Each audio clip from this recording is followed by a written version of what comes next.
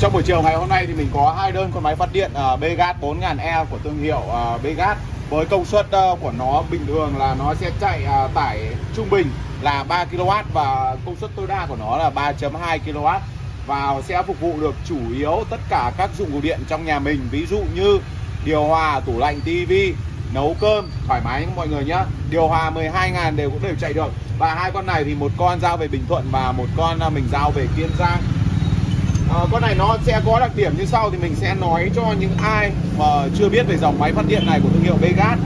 Có bánh xe này có tay cầm này và một số phụ kiện cơ bản để lắp vào tay cầm này dụng cụ tháo buji này. Đó và các phụ kiện khác như là đầu ốc để mình lắp bánh xe.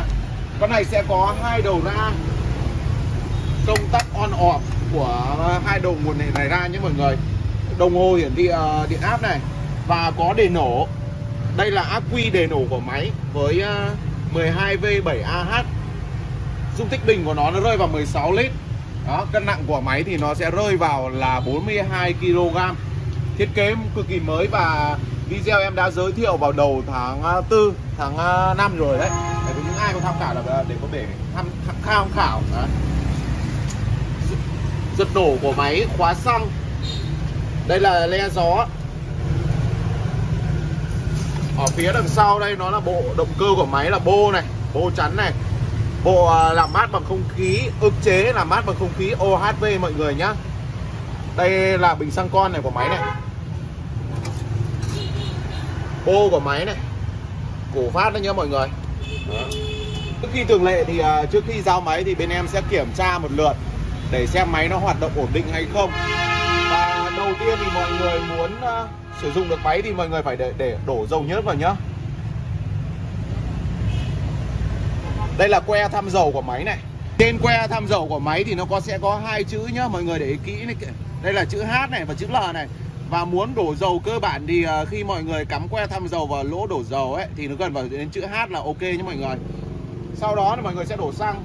Xăng này thì uh, dung tích nó của nó là 16 lít thì mọi người cứ đổ tầm khoảng 5 lít đổ lên lúc mọi người nhận máy và kiểm tra nhé nếu mà đổ 1-2 lít thì nó không đủ đâu.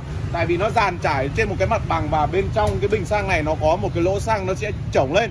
Để làm sao là hạn chế được cặn nó chảy xuống uh, uh, bình xăng con cho vào, vào máy nhé thì uh, em test máy.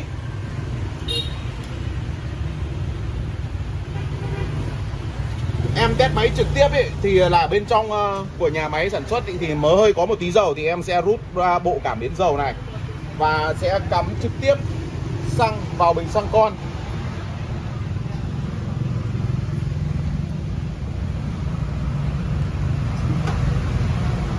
Rồi khởi động như bình thường nhé rồi sau đây thì em sẽ giới thiệu cho mọi người cách khởi động luôn.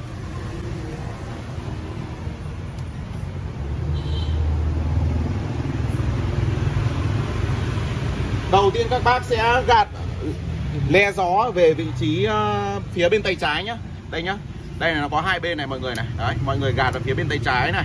Và nếu như mình đổ xăng vào bình xăng thì mình phải để cái kim xăng như thế này nó ở vị trí on này. Tiếp theo đó mọi người sẽ giật à, bật công tắc on của khóa ra. Giật nhẹ ba cái cho xăng xuống này. Mọi người lưu ý nhé ba cái cho xăng xuống này. Sau đó sẽ giật mạnh này. Đấy. Tiếp theo nữa là mình sẽ gạt le gió về phía bên phải để cho máy nó chạy ổn định. Và mình sẽ bật công tắc. Đây là điện đủ 220V nhé và bây giờ là mình sẽ test thử với khả năng đề nổ của nó.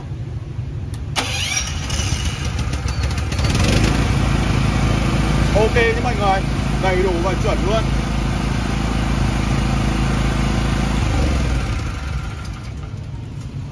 Giá bán hiện tại của hai con máy phát điện này là 6 triệu 890 ngàn mỗi con Và miễn phí ship toàn quốc. Khi mọi người nhận máy được kiểm tra test thử thoải mái cho em nhé. Mọi người sẽ đổ dầu vào này, đổ xăng vào này Rồi sau đó sẽ giật và khởi động.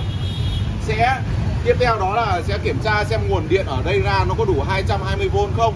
Mọi người có thể là sử dụng những cái dụng cụ điện trong gia đình nhà mình chưa tới là gần 3 kW mọi người cứ cắm vào chạy thử cho em nhé đó và những ai đang có nhu cầu hãy liên hệ tới số điện thoại em để ở góc bên dưới màn hình hoặc mọi người có thể đến trực tiếp cái showroom của bên em 174 Trịnh Đình Cửu, Định Công Hoàng Mai, Hà Nội. Và mọi người lưu ý này, à, cách bảo quản máy thì rất là đơn giản thôi. Thì à, mỗi lần á, mỗi tháng á, mọi người thì chạy cho Roda cho em tầm khoảng 10 phút và mỗi tháng là hai lần chạy Roda 10 phút thôi. Và khi mọi người nhận máy mới về ấy, thì phải chạy Roda cũng tầm khoảng 10 phút trước khi mang vào sử dụng nhé. Còn bây giờ, xin chào và hẹn gặp lại mọi người.